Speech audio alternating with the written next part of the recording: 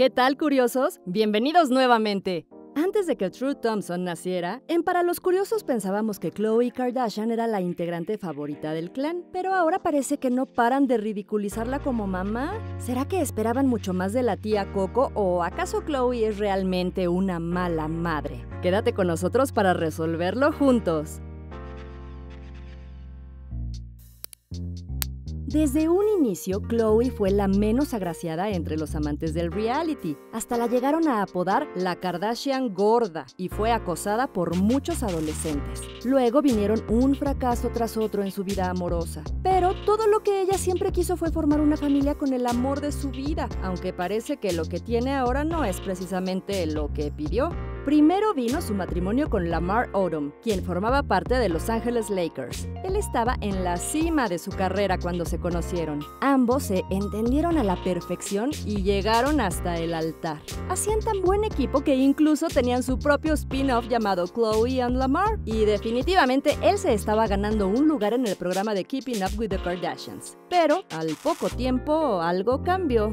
En 2011, el primo de Lamar falleció y después de eso, él mismo sufrió un accidente automovilístico. Después de todo ese drama, los medios comenzaron a escribir todo sobre su vida y su adicción a las sustancias prohibidas. Por lo tanto, el matrimonio terminó de una manera bastante desfavorable para la pobre de Chloe. Luego vinieron James Harden y French Montana, pero ninguno de ellos resultó ser el príncipe azul que tanto había estado esperando. Hasta que llegó Tristan la pareja se mudó a Cleveland para comenzar una familia juntos. Bueno, el poder de conquista de Tristan fue tal que ella hasta bajó y bastante de peso. Pero cuando parecía que todo iba viento en popa, otra vez el mismo cuento. Todos los fanáticos del programa saben que Chloe siempre había querido ser madre y Tristan se las arregló para cumplirle ese deseo, pero le cobró un poco caro el favor. Y es que justo unos días antes de que Chloe diera a luz, salieron a la luz videos y fotos de Tristan engañando a Chloe con varias, eh, digamos, muchas mujeres. Obviamente a nadie le agrada la idea de estar en labor de parto y enterarse de las infidelidades del futuro padre del bebé, ¿verdad?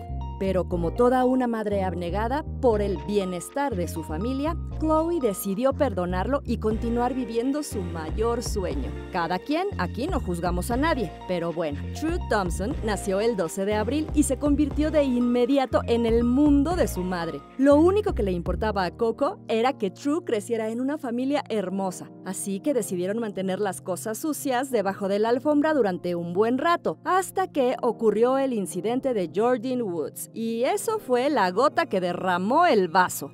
A partir de ese momento, Chloe se convirtió en madre soltera, dedicada única y exclusivamente a True. Y, aunque se podría pensar que se convirtió en la mejor mamá que uno podría imaginar, la verdad es que no es del todo cierto. Muchas mamás han criticado las técnicas de crianza de Chloe, aunque a nosotros no nos queda tan claro el por qué.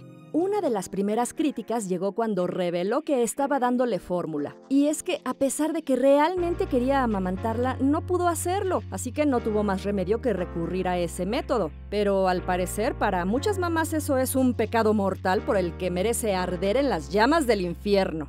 Más polémica vino cuando subió esta foto de su hija y de inmediato la gente se le fue directo a la yugular por no apoyar el cuello de la bebé. Incluso hubo quienes la acusaron de usarla como accesorio para obtener más likes en Instagram. Luego vino otra foto en el jardín botánico y otra vez tuvo que aguantar los regaños por no apoyar la espalda de la bebé. Hablaban de algo sobre la posición M y la postura ergonómica, sobre lo que para los curiosos no tenemos ni idea. En otra ocasión fue fuertemente criticada por regresar al gimnasio luego de dar a luz. Ah, sí, también la acusaron de tener las uñas demasiado largas y puntiagudas. Aparentemente la gente estaba preocupada por quién iba a cambiar los pañales de True. Háganme ustedes el favor, lo que es no tener vida propia. La crítica más reciente la recibió por contratar una niñera. Caray, hasta lo que no se comen les hace daño a los haters. Saludos a los nuestros, por cierto.